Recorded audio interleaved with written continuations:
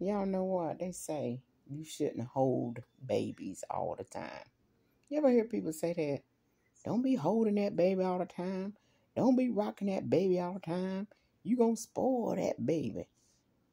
I just don't see nothing wrong with it.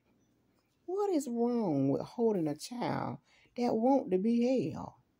It ain't spoiling the child, it's letting them know that they got security and they got comfort and somebody's there.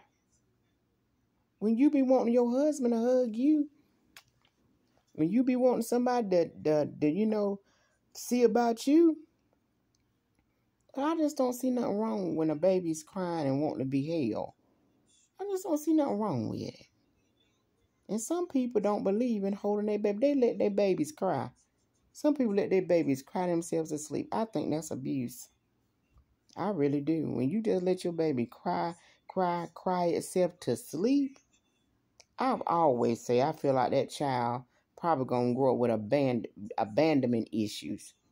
Cause after a child cry, cry, cry, and nobody comes, I think that's where abandonment issues start in our children.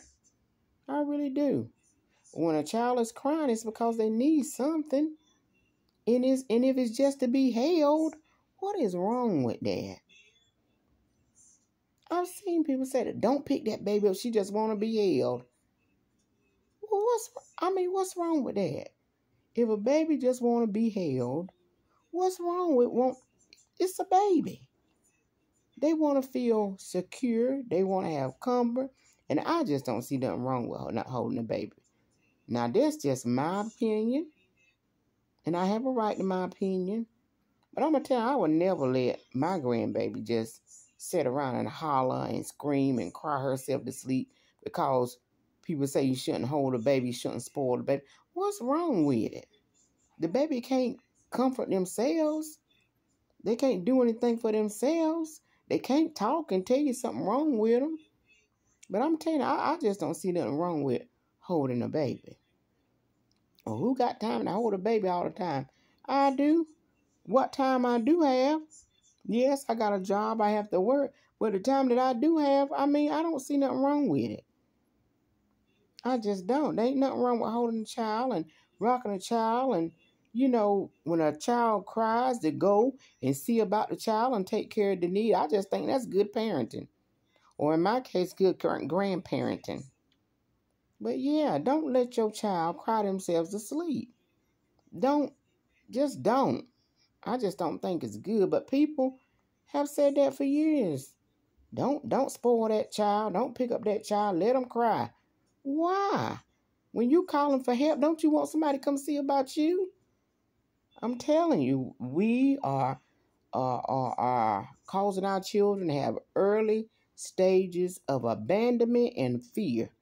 Because when they cry, nobody ever comes to see about them. Now, not this baby here. Now, my little Nana Bean, she don't even have to cry much because somebody coming to see about her. And she to grow up with that. That somebody's always there to, to be there to check on her and see about her. She don't have them issues. Because I, I just don't believe there ain't nothing wrong with holding and rocking a child. Even when they sleep. You see? Look at her. Sleep. But she feels secure. She feels safe.